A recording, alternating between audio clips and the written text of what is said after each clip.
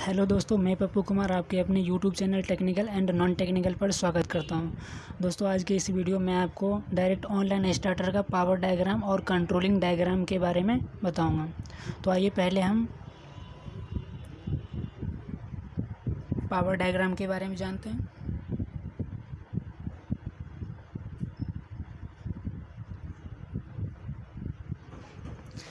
Power diagram के लिए हम थ्री फ़ेज़ सप्लाई लेते हैं।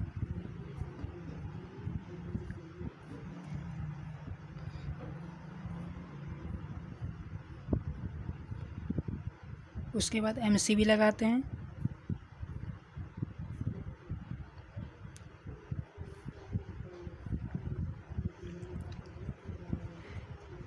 एम सी बी के बाद कॉन्ट्रैक्टर लगाते हैं। जिसमें तीन मेन कॉन्टैक्ट होते हैं और एक एक्जॉर्ली कॉन्टैक्ट होते हैं। ये एक्जॉर्ली कॉन्टैक्ट कंट्रोलिंग के लिए यूज़ होता है। जिसमें एक ए वन पॉइंट होता है और दूसरा ए टू होता है। ए वन पे हम फ़ेज़ देते हैं और ए टू पे न्यूट्रल देते हैं, जिसको डिटेल से हम कंट्रोलिंग डायग्राम में समझेंगे। उसके बाद ओवरलोड रिले लगाते हैं।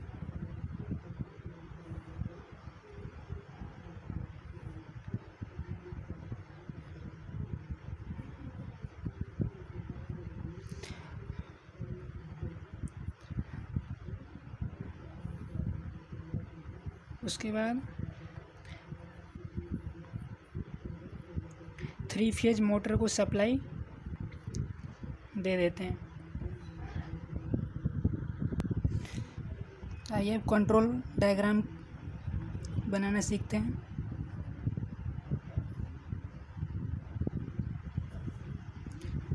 कंट्रोल डायग्राम के लिए हम फ़ेज़ सप्लाई लेते हैं।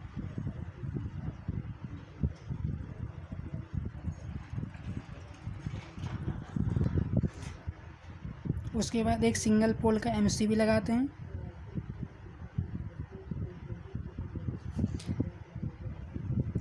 एम के बाद।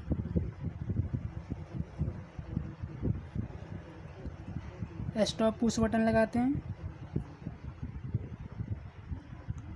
जो एनसी होता है, जिसे हम एनसी बोलते हैं। उसके बाद ओवरलोड रिले लगाते हैं।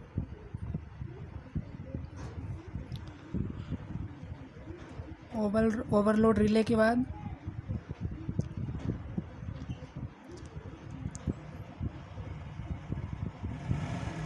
स्टार्ट पुश बटन लगाते हैं। जिसे एन बोलते हैं। और कुछ भी लगाना है जैसे सिंगल फ़ेज़ प्रिवेंटर लगाना है या फिर कोई सा सेंसर वगैरह लगाना है तो हम इसकी सीरीज़ में लगा सकते हैं। अगर कोई सा भी सेफ्टी डिवाइस यहाँ पे लगा सकते हैं। उसके बाद हमने कॉन्ट्रैक्टर को सप्लाई दे दिया, जो आपको पावर डायग्राम में मैं ए वन और ए टू टर्मिनल दिखाया था। यही दोनों हैं, यहाँ पे फ़ेज़ दे दिया हमने और यहाँ पे न्यूट्रल दे दिया।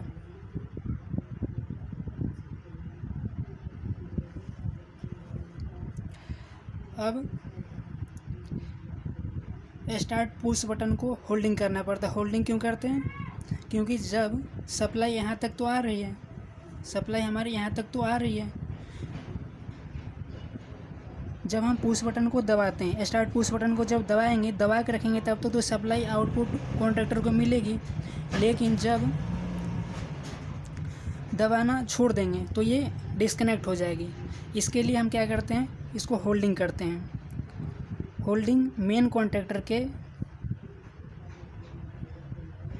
मेन कॉन्ट्रैक्टर के एनओ से करते हैं। मेन कॉन्ट्रैक्टर के एनओ से इसे होल्डिंग कर देते हैं। आइए अब हम इंडिकेटर का कनेक्शन सीखते हैं। इसमें तीन इंडिकेटर लगाते हैं। ऑन के लिए, दूसरा ऑफ़ के लिए और तीसरा ट्रिप के लिए। तो ऑन इंडिकेटर के लिए कनेक्शन देखते हैं। तो हम एमसीबी के आउटपुट से फ़ेज़ सप्लाई ले लिया।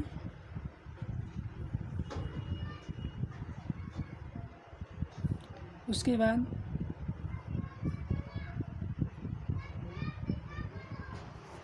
मेन कॉन्ट्रैक्टर के एनओ से कनेक्ट करेंगे इसे।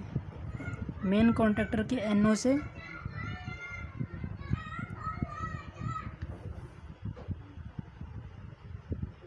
हमने ये ऑन के लिए इंडिकेटर लगा दिया जो रेड कलर का होता है और यहाँ से न्यूट्रल सप्लाई दे दिया। अब ऑफ़ इंडिकेटर का कनेक्शन देखते हैं। ऑफ़ के लिए हमने यहीं से फ़ेज़ सप्लाई ले लिया और ऑफ़ इंडिकेटर के लिए मेन कॉन्टेक्टर का एनसी यूज़ करते हैं। हमने मेन कॉन्टेक्टर का एनसी ले लिया और यहाँ एक इंडिकेटर लगा दिया ऑफ़ के लिए, जो ग्रीन कलर का होता है, और न्यूट्रल सप्लाई डायरेक्ट कनेक्ट कर दिया। अब ट्रिप का कनेक्शन देखते हैं। ट्रिप के लिए भी हमने यहाँ से फ़ेज़ सप्लाई ले लिया। ट्रिप के लिए हम ओवरलोड रिले के एनो पॉइंट यूज़ करेंगे। ओवरलोड रिले के एनो पॉइंट से यू सप्लाई लेंगे।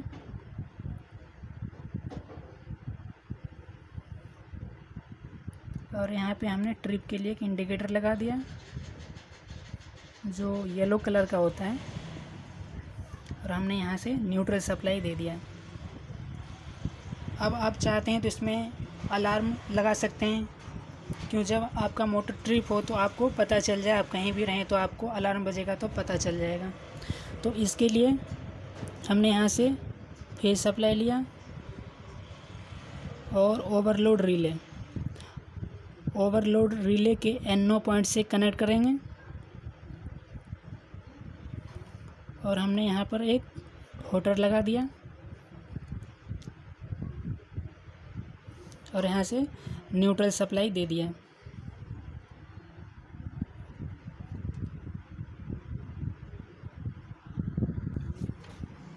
मुझे उम्मीद है कि आप डायरेक्ट ऑनलाइन स्टार्टर की पावर डायग्राम और कंट्रोल वायरिंग को समझ गए होंगे। Thanks for watching this video.